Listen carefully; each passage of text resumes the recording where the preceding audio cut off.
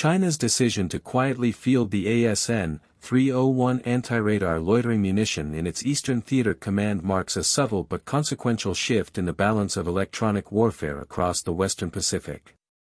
Until recently, this air vehicle was mostly a model on trade show floors and a subject of speculation in defense journals.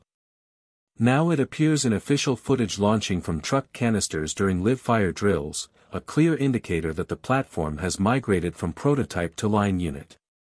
The symbolism matters as much as the capability, Beijing is signaling that it can hunt down the very radar emitters that underpin American and Allied early warning, missile guidance, and air defense coherence, and it can do so persistently, at scale, and from mobile launchers that are hard to find. What separates this class of loitering munition from traditional anti-radiation missiles is time and pressure. A missile is a sprint, fast, lethal, expensive, and fleeting. The ASN 301 is a siege. Once fired, it can loiter for hours, listening for the telltale electronic heartbeat of an active radar. Operators on the defending side face a dilemma with no comfortable option. Power down and the air picture goes dark, inviting surprise from cruise missiles or strike aircraft. Keep sensors on and the emitter becomes a beacon that draws the drone in for a terminal strike. That persistent threat weaponizes uncertainty and compresses decision timelines for commanders who rely on radar to stitch together a defensive tapestry over sea and land. Equally important is how the system is deployed. The launcher array, integrated on a tactical 6x6 truck chassis already common in PLA logistics, packs multiple sealed canisters that can be ripple-fired within seconds. Mobility is doctrine here, not just convenience. A canister cold launch, engine spin-up, and immediate displacement by the vehicle make counter-battery responses far less likely to succeed. In practical terms, a platoon of such trucks can disperse along coastal arteries or inland staging zones, saturate a battle space with seekers, and vanish into the road net before an adversary has identified where the salvo originated. That combination of dispersion, salvo density, and rapid shoot and scoot behavior turns radar hunting into a repeatable drill rather than a high-risk sortie. The technical architecture aligns with its mission. A compact delta-wing airframe, pusher propeller, and small piston engine keep costs manageable and endurance high. The seeker listens across the frequencies most commonly used by surveillance and fire control radars, homing when signal strength and geometry align. A GPS-INS navigation core handles the transit and loiter phases, while proximity-fused fragmentation charges are optimized to shred antenna arrays, feed horns, waveguides, and associated electronics, precisely the components that are hardest to harden without impairing performance. Even the proximity-fused choice speaks to purpose, physical destruction is less important than making the radar node inoperable at the worst possible moment. Operationally, the Eastern Theater Command is the most telling home for the system. This formation sits opposite Taiwan, watches the East China Sea, and frequently rehearses blockades, strike packages, and joint fires. Introducing a mature anti-radar loiterer into that playbook enables rehearsal of an opening move aimed at paralyzing Allied sensor networks. Maritime radars aboard Aegis-equipped ships, land-based long-range air surveillance arrays, and airborne early warning platforms depend on a continuous radar environment to generate a shared track picture. Seed that environment with dozens of patient radar hunters, and defenders must either accept intermittent blindness or burn precious interceptors shooting down relatively low-cost drones while larger salvos assemble out of sight. The doctrine implied by the ASN 301 is not isolated. It dovetails with China's broader shift toward layered, unmanned, and attritable systems that complement ballistic and cruise missiles. A logical sequence emerges, unmanned radar hunters force emitters off or destroy critical nodes, electronic attack and decoys exploit the confusion, long-range precision fires then arrive against targets deprived of early warning, follow-on swarms and strike aircraft push through degraded defenses. Crucially, this approach reduces reliance on manned aircraft for the riskiest suppression tasks and preserves high-end munitions for decisive strikes. It is a formula designed to be repeated, adapted, and exported, leveraging mass and persistence more than exquisite performance.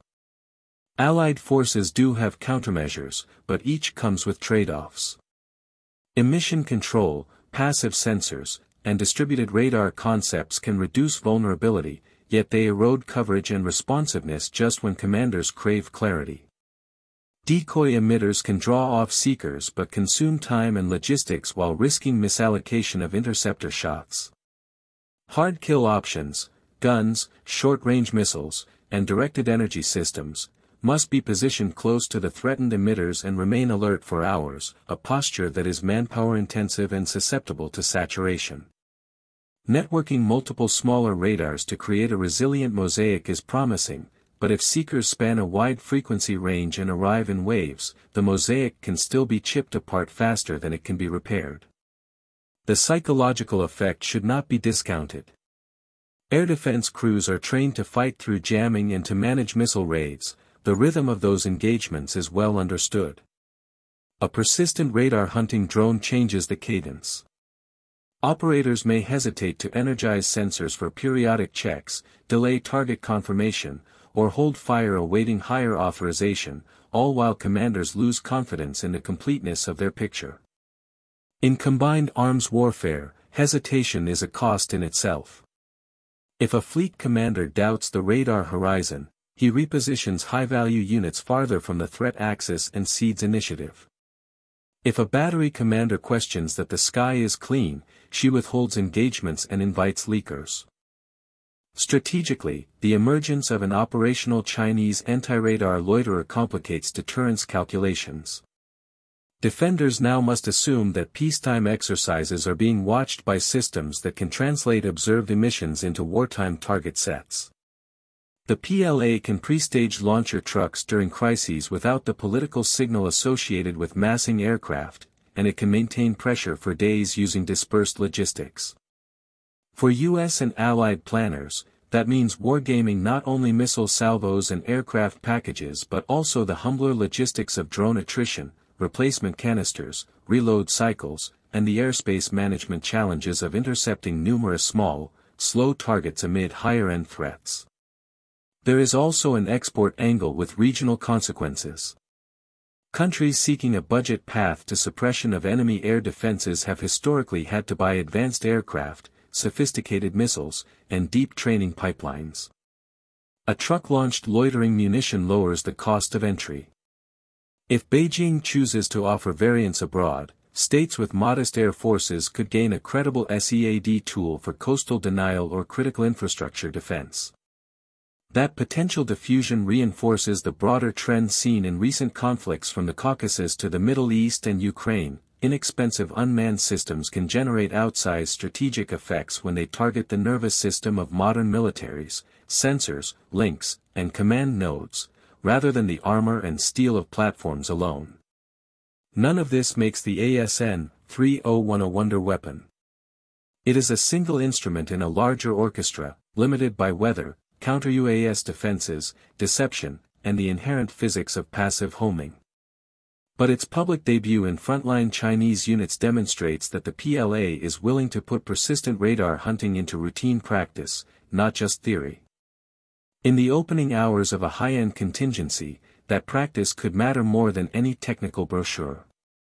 The first thing defenders may lose is not a warship or a radar tower, it is confidence in the picture their radars paint.